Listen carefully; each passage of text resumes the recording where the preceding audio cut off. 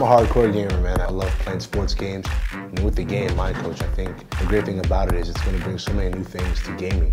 The exercise in the game are exactly what I do as a soccer player.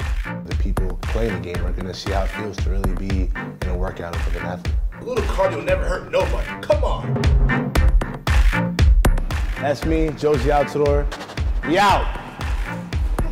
Deuce. This ain't even the right way.